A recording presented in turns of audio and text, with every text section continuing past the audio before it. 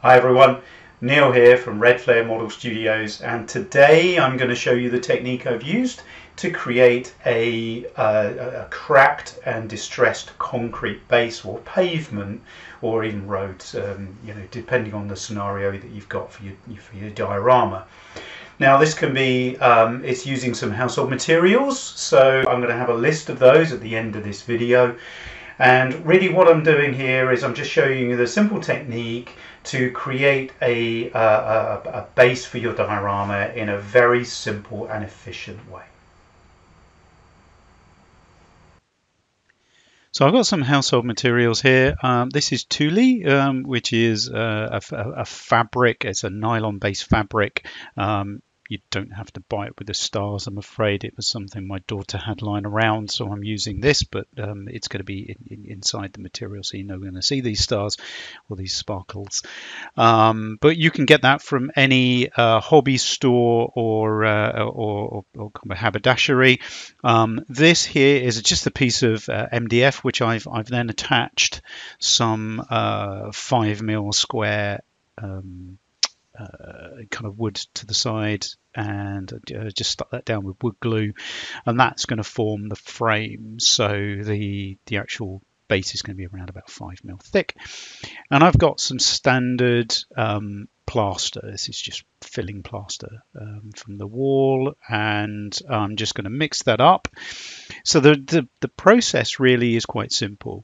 Um, you put some plaster inside that, you then put this material, this tulle material inside the plaster and that binds that plaster together and once it's dry you can then break that. So I'm going to go ahead here and mix up This was just some water. Let's just move that to the side. It doesn't matter how liquidy you have it because it's going to be poured inside. So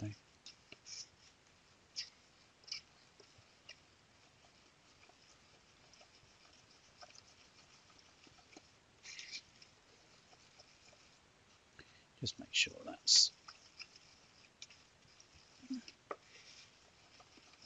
Feels like I'm going to be doing some uh, DIY in a minute. There we are. So I'm going to add a bit more plaster because I need a bit more volume.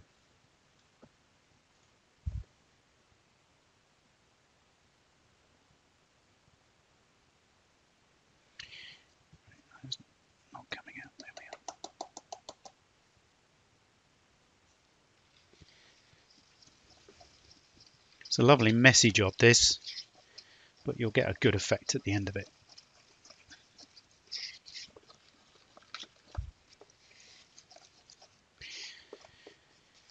There we are now, you just kind of consistency really, it's a bit like porridge.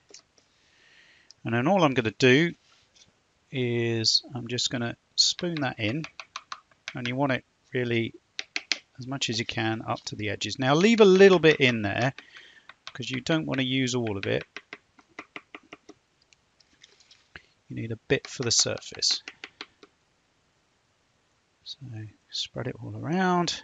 Doesn't matter if it goes all over the, the base or the sides because once it's dry you'll snap it all out. And it doesn't matter if you've broken edges on it. There we are. Now, what you're going to do is you're not going to fill it completely at this stage. If you notice, it's not quite all even on top. And the reason why is as simple as that. I want to get the fabric. And this is the messy bit where I'm going to start to push the fabric in to the material goes into the plaster.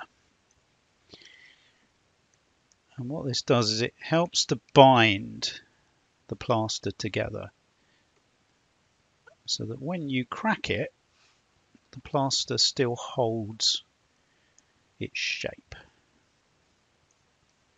So there we are. Now, I want to use this additional material on top and just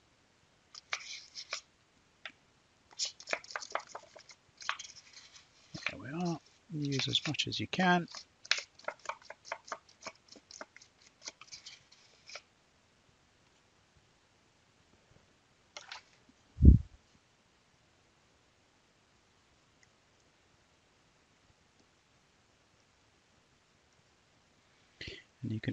Trim the fabric and everything else at the end of it. Now, I'm smoothing this out with a spoon, but in a second I'm going to also use another piece of wood. I'll push that down in there because that, that's showing on the outside. There we are. Just try and get rid of all those bits of fabric, hide it so you can't really see the texture on the top.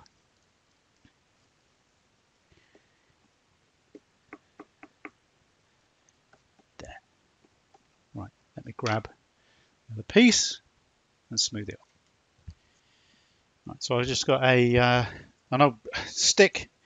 You can use another piece of wood or something. And what we really need to do now is just drawing it along and smoothing that off to a finish to make it look like concrete.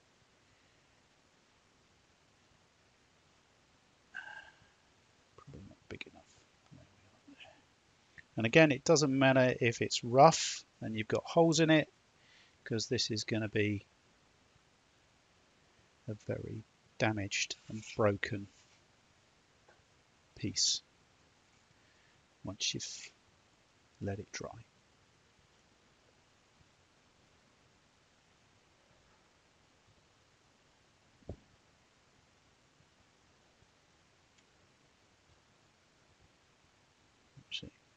Push that down a bit more.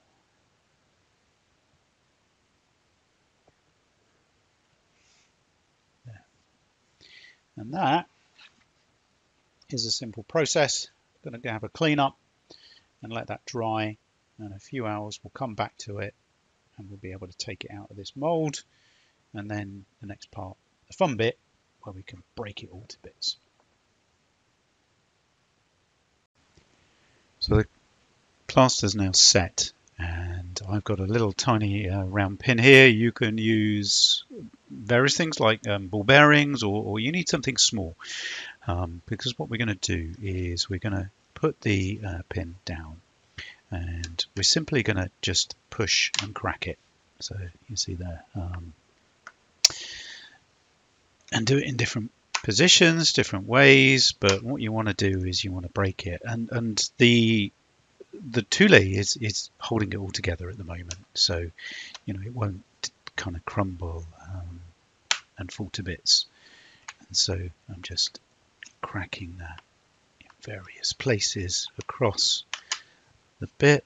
Um, oops, it's got stuck inside it. There we are.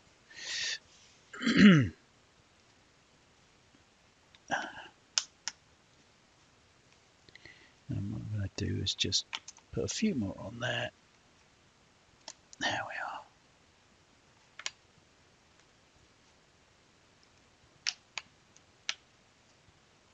That'll do. So we've got some of the plaster that's just come off.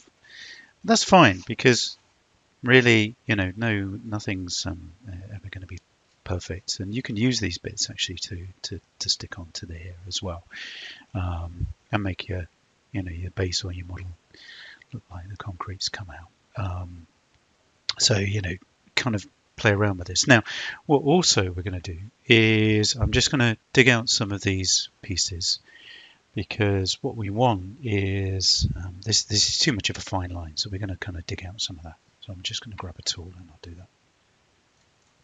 So I've got a couple of sculpting tools here. Um, you can get these from any again any hobby, hobby shop. Um, really what I'm going to do is I'm just going to use this piece here and I'm going to kind of dig out some of the groove. And what that's going to do is it's you want to do it as randomly as you can. You kind of break it like this, it then makes So pushing it in rather than scraping it.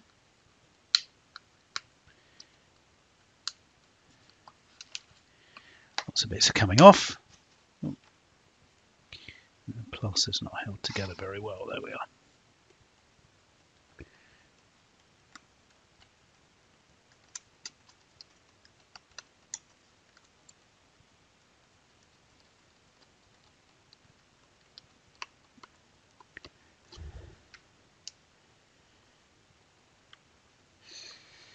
and you just work your way along all the cracks just taking off some of the definition around the edge so it makes it look like the concrete's really decayed over time and just you know have fun with it right you know you most of it's going to be covered up by whatever you're putting on if you're putting in a vehicle or something on top it's going to cover most of this up anyway. So, you know, focus on the sides. You can see immediately, you know, um, what I'm going to do is I'll obviously put these bits back in there, um, glue those down, um, and make it look like these are all come loose. And by the time you've sprinkled all of this stuff back on here, it's now looking like a lovely distressed piece of concrete. And it's as simple as that. So I hope you've enjoyed the video. If you've got any comments or thoughts, just add them beneath and um, I'll, I'll respond. But yeah, thank you very much, guys.